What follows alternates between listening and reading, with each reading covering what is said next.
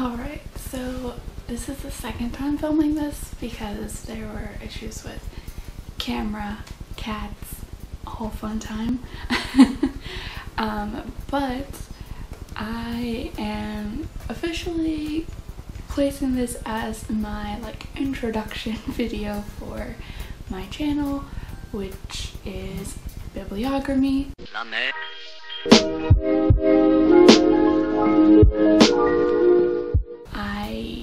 To do a lot of vlogging originally, but over the years, just things have gotten a little convoluted on that channel and I really just want to do a fresh start of everything booktube wise, just having a clear set path in front of me this time. So yeah, here we are. so I basically have two things that I'm covering in this video.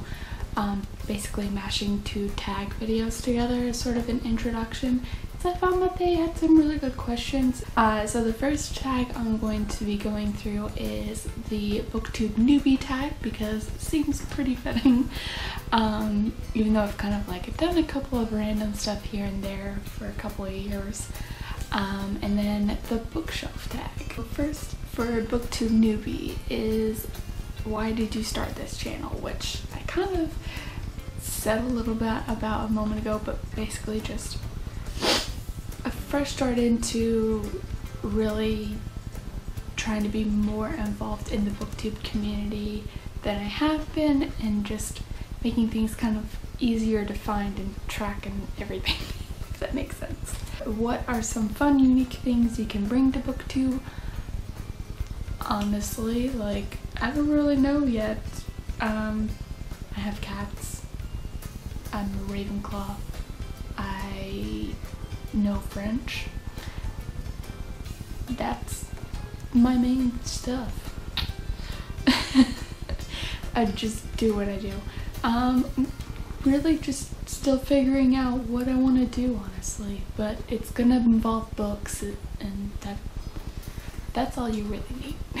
what are you most excited for with this channel? Honestly, just making, just getting that clean slate for the first time in probably like a 10 year history of my stuff just being a little bit of a mess. So we're gonna we're gonna do it right and we're gonna do it well.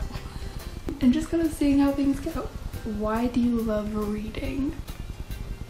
I mean what is there to be said about reading that isn't already said? Like it's a way to escape it's a way to learn about new stories and adventures and characters and just it's a great hobby you should try it. That you probably already have if you're here so, what book or series got you into reading?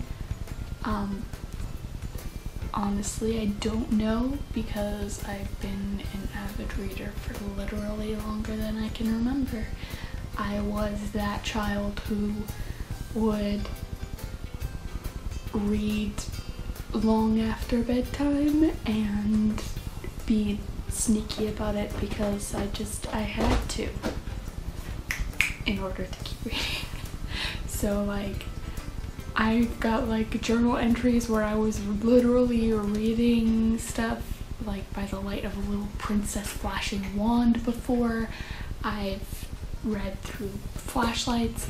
I remember in like late elementary school, I was reading a series of unfortunate events from my school library and I was reading through them at the pace of basically a book a day.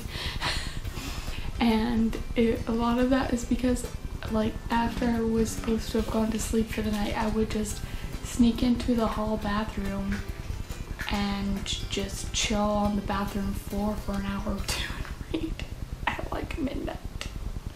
This was like sixth, seventh grade. yeah. What questions would you like to ask your favorite booktuber?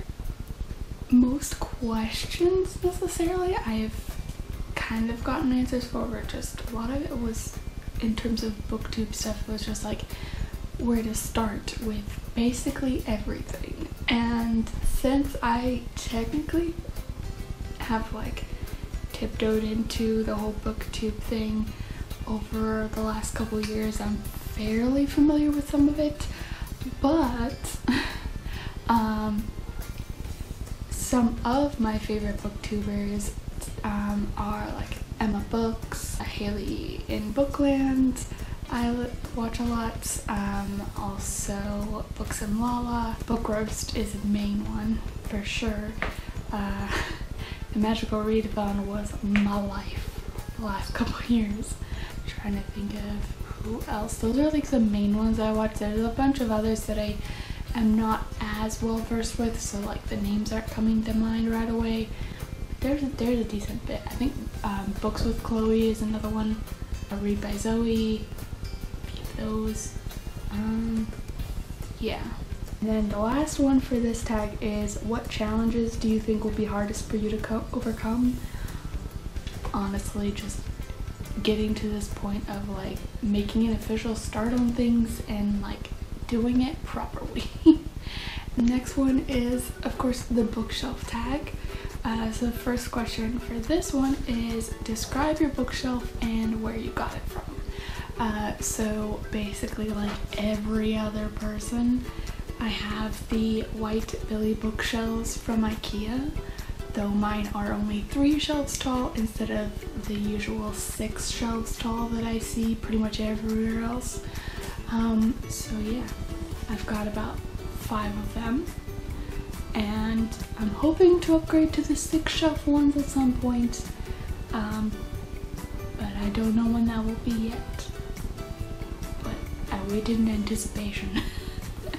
I've only had these fairly recently. I got these about two years ago, within last two years. Um, before that, I just was using, um, I was borrowing bookshelves from my sister for a while. Um, and before that, I just had like this, um, this like white wicker bookshelf dresser combination. Um, and that's the one I remember most vividly growing up with at my parents' house for a few years. Um, before that, I don't really call. Uh, how do you organize your books? I'm still figuring out what is my most preferred method. I would love to do a rainbow at some point, but these shelves don't really work for it as well as I would like. Um, so right now, after testing various options, um, it's done by size and then by author. Um, apart from my one shelf over in the corner, which is like the majority of my Harry Potter stuff, though not all of it, because I've got a few like I still have to figure out what best to call them, but like I, I collect a lot of books that are about Harry Potter, so like if it's discussing like theories on how the series would end before it ended and like going into like the character histories uh, like and just a bunch of background stuff um, that are like unofficial books so I've got several of those that don't fit on the shelf um, and I've got the illustrated editions of books one through four. Most of it is on that one shelf, separated from the rest, and then the rest is kind of organized as I mentioned. What is the longest book on your shelf? I believe it is one of the North and South books or Gone with the Wind because those are somewhere around a thousand pages or so.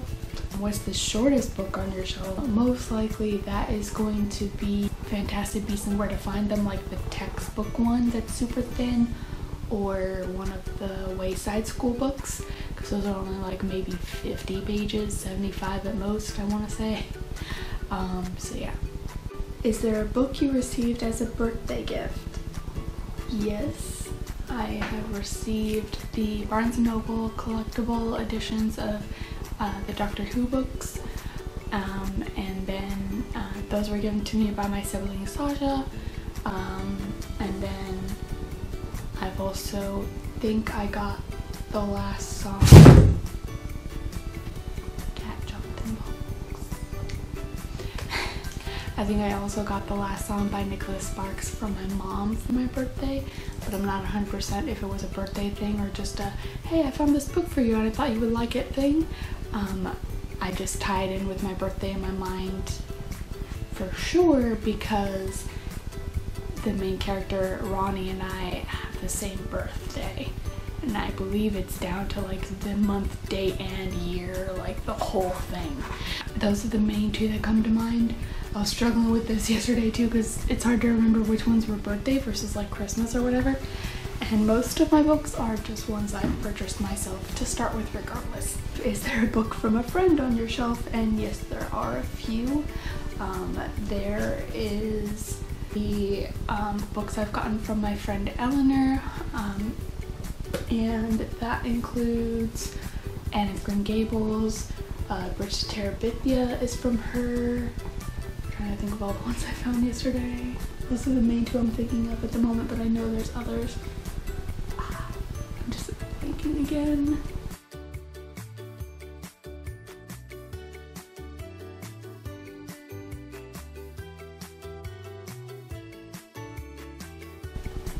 Um, I've also gotten a couple of uh, the Doctor Who New Series Adventures books from my friend Beth. Um, and then I'm gonna spend a whole lot of time on it, but they're sprinkled around here somewhere. Um, I will show pictures of more of them when I have a chance. I'll just like, as I'm editing, I'll throw in some clips of the books I'm mentioning and any others that I am blanking on at the moment. What is the most expensive book on your shelf? Undoubtedly the uh, Harry Potter textbook replicas from Alarm 18 that I just recently got a couple months ago.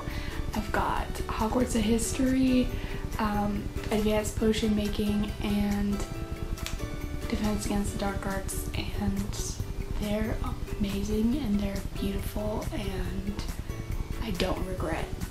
what is the last book you read on your shelf? Currently I'm reading The Invisible Life of Addie LaRue um, and then the last book that I finished was um, The Afterlife of Holly Chase. Do you have a complete series? I have many. I've got Harry Potter, of course, in English and in French. I've got Twilight in English and in French. I've got Hunger Games. I have Divergent. I have The Fifth Wave.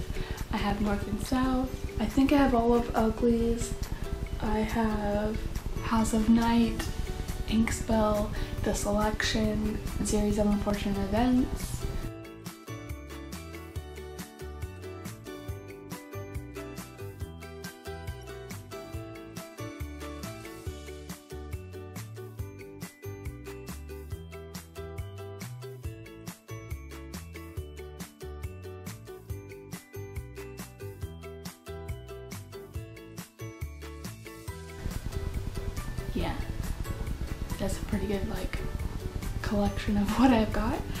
the newest addition to your shelf? Um, it's gonna be this whole giant pile of books that are on top of my bookshelves right now because I have no space for them. And basically, I, I got an order of like 15 books from Book Outlet that was delivered just a couple days ago to a week ago.